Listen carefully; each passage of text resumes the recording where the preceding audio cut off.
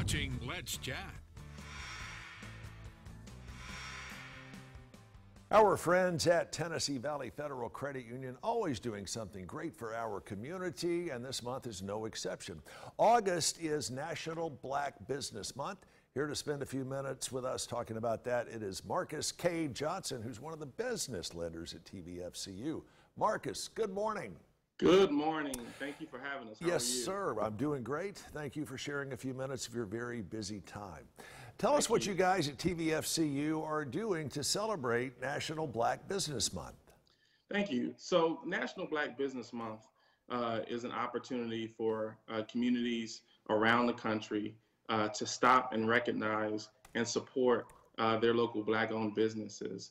Uh, and so, what we're doing at TVFCU uh, is we have chosen several of our small uh, black owned businesses to highlight uh, during this month. I was looking at the list of some of these businesses and wanted to spend just a few seconds going over uh, a good part of them. Bonner yeah. Consulting Services. Fill us in on them. Yes, so that Bonner Consulting Services uh, is owned by Latoya Bonner, and it's a tax preparation uh, service. Um, and she has been in business for about five years now. Um, and she's doing an outstanding job. The way she was connected with us is she helped a lot of her uh, clients help get the PPP money. Um, and so we realized that there were uh, many black-owned businesses that were struggling to access the, the relief that was put out there due to COVID-19. Right. Uh, and so Latoya was one of the businesses that we were able to help. And then once we helped her, uh, she was able to refer several of her clients over to us. And so we've been able to establish a really good working relationship with uh, Latoya Bonner and Bonner Consulting. In the banking business, obviously, one good, satisfied client can bring in literally dozens of others, like Copeland Child Care, for example. Absolutely, absolutely. So Copeland Child Care, uh, that's owned by Shamika Copeland. It is a daycare uh, center that she has, and she's actually getting ready to open up a second location. Uh, Shamika has been a client of ours uh, for a while now um, and we helped her to uh, secure some financing for her second location. Uh, she's doing a great job. She has uh, 12 children at her current location, mm-hmm. um, and then when she opens up her next one, I believe she'll have a room for about 24. So she's growing, uh, and we're proud to, to help her grow. One of my favorites and I mean one of my favorites, Chatterbox Cafe. Oh yes, yes, yes. You you do not know barbecue in Chattanooga if you have not visited Brandon and Chatterbox Cafe.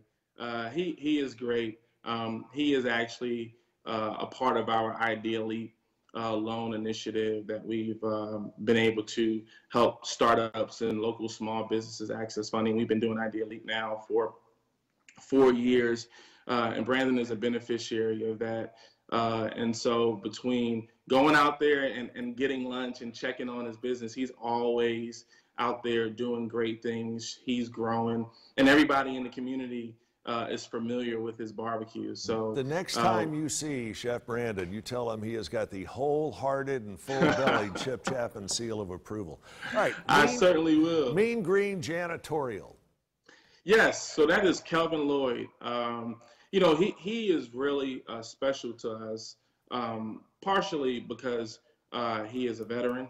Uh, he served in the Navy. Um, but then also, um, he has been in, in the business, cleaning business, for 15 years now. Mm-hmm. Um, he's one of our, our clients, both on the business side, um, and he does business with us personally. Um, and he, he's just a great guy. He, he employs 60 folks um, in his operation.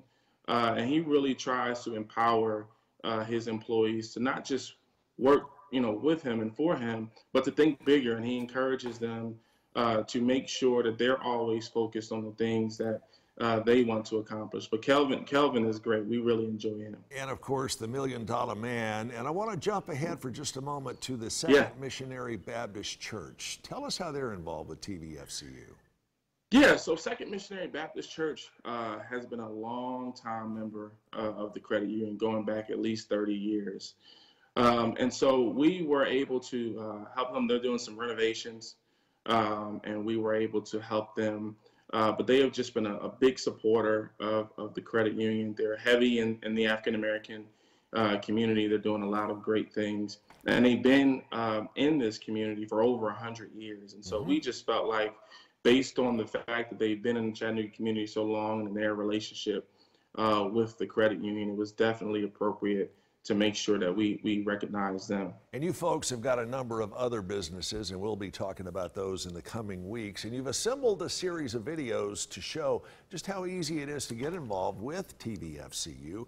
And you guys have been here in the community for decades and decades, doing a great job. And thanks to each and every one of your staff at Tennessee Valley Federal Credit Union. You can find out more about these videos, check them out for yourself, and even if you're happy or satisfied with your current financial institution, TVFCU is definitely worth checking out. Go to their website, tvfcu.com, tvfcu.com. Marcus K. Johnson, thanks so much for joining us. Thank you, Chip. We really appreciate your time this morning. And we will see you back here right after this.